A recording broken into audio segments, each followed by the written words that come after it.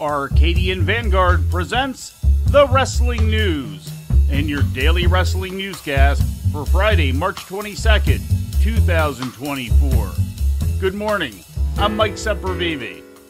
We begin today with TNA Impact, which aired last night on AXS TV, featuring matches taped on March 9th at St. Clair College in Windsor, Ontario. In the main event, Jordynne Grace defeated Tasha Steelz to retain the Knockouts World Championship.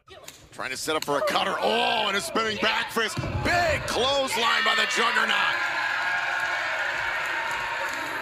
Steelz is rocked. The champion's got a hold of Steelz and a Juggernaut driver. Cover. Jordynne Grace turns away Tasha Steelz. Earlier on in the show, Jake Something emerged from a six way match as the winner, becoming the number one contender to the X Division Championship. Something pinned Kevin Knight to win the match. Other participants included Chris Bey, Alan Angels, Leon Slater, and Jason Hotch.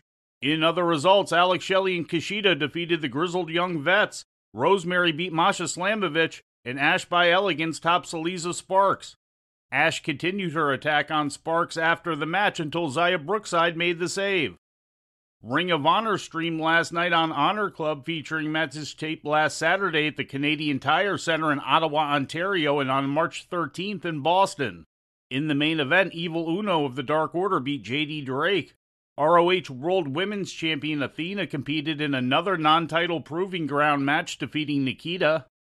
In the semifinals of the ROH Women's World TV title tournament, Billie Starkz beat Mercedes Martinez, and Queen Aminata topped Red Velvet.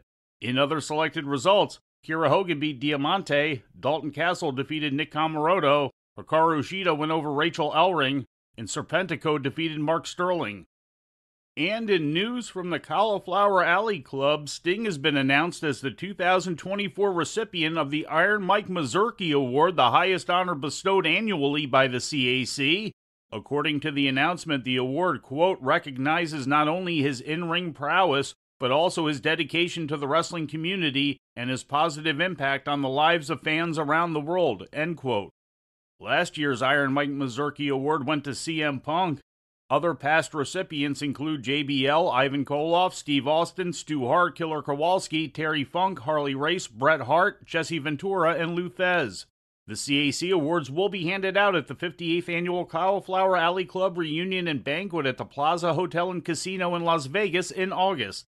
And before we leave you today, we'd like to remind you that however you consume your content, you can find the wrestling news 24 hours a day and 7 days a week across social media. On Twitter, follow us at Wrestling News AV. Our Facebook page is also Wrestling News AV. The Wrestling News can also be found on the Arcadian Vanguard YouTube page. And for those who utilize Amazon Echo devices, just tell Alexa to play the Wrestling News podcast. And remember to make sure you add podcast at the end. Once again, for daily updates, breaking news, and more, follow the Wrestling News across social media. And that's the news for today. If anything happens, we will be here to tell you about it. No clickbait, no paywall, just the wrestling news.